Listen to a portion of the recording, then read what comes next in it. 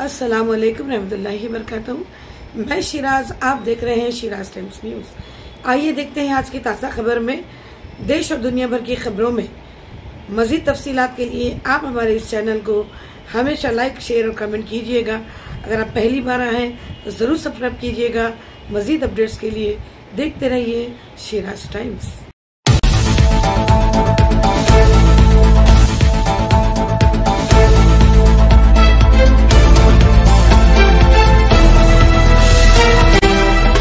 हमारे हिंदुस्तान में यूपी की क्या सूरत हाल है आपको पता है। अभी माजी करीब में जो कुछ हुआ, आप इस बात को जानते हैं।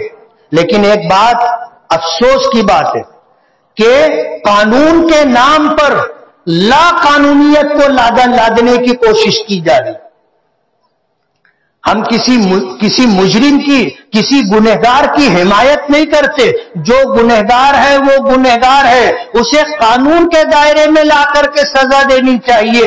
कानून हाथ में लेने का इख्तियार हमारे मुल्क के दस्तूर आइन संविधान ने किसी को नहीं दिया। एक बात अगर सुनी जा सकती हो तो सुन ले कि कुफर और शिरक के साथ हुकूमतें बाकी रहती है। अल्लाह ताला इस दुनिया में कुफर और शिरक के साथ हुकूमतों को बाकी रखता है, लेकिन किसी की हुकूमत, किसी का इकतदार जुल्म के साथ बाकी नहीं रहता।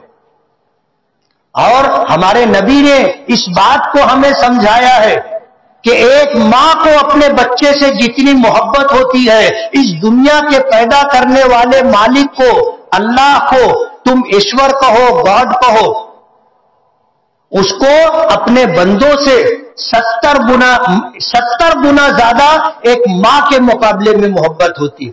हमारा मालिक हमसे, हमारी माँ के मुकाबले में सत्तर गुना ज़्यादा मोहब्बत करता है।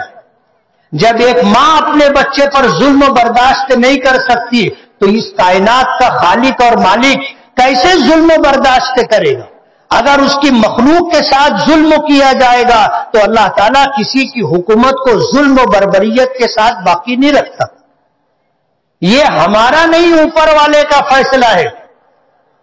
और आप सुन लो, इक्तदार किसी का हमेशा नहीं रहता। आप दुनिया की जाने दीजिए, अपने देश भारत की तारीख उठा करके देख लो।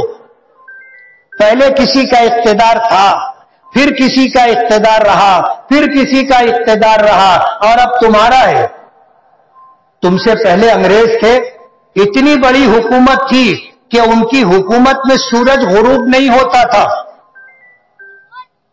लेकिन एक वक्त आया कि इस देश की आज़ादी के लिए हिंदू, मुस्लिम तमाम ही मजाहिब के मानने वालों ने मिलजुल करके मुकाबला किया और अंग्रेज़ों को बोरिया बिस्तर गोल करने पर मजबूर कर दिया।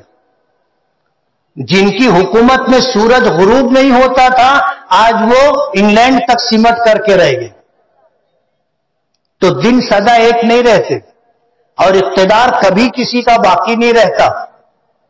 इकतदार बदलता रहता है, तारीख अपने आप को दोहराती है।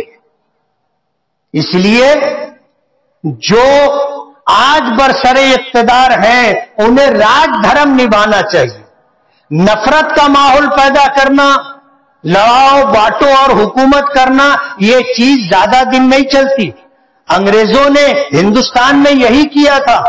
और जब तक वो इसमें कामयाब रहे, इकतेदार पर रहे, इस मुल्क में रहने वाले मुसलमानों को, हिंदुओं से, हिंदुओं को मुसलमानों से, और इस तरह दीगर मजाहिब के लोगों को आपस में लड़ाना और अपनी हुकूमत कायम रखना, ये अंग्रेज़ों का तरीका था। डिवाइड एंड रूल बहुत मशहूर अंग्रेज़ी का जुमला है। यही उनका तरीका था।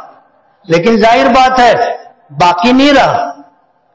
बहुत दिन तक लोग बेवकूफ़ नहीं बनते। और ईमान वाला दूसरी मर्तबा बेवकूफ़ नहीं बनता। हदीस पाक में आता है लायुल दउल मोमिन मिन जोहरिन वाहिदिन मर्रतैन, के मुसलमान उस मालिक पर ईमान रखने वाला एक सुराख से दो मरतबा नहीं डसा जाता। दो मरतबा नहीं, एक मरतबा एतमाद करके धोखा खा सकते। लेकिन एक मरतबा चोट लगने के बाद दोबारा फिर धोखा नहीं खाते। और अगर दोबारा आप धोखा खा रहे हो तो आप अपने ईमान की खबर लो, है कि नहीं है? अगर ईमान होता तो दूसरी मर्तबा धोखा नहीं खाते। अपने ईमान का जायजा लो।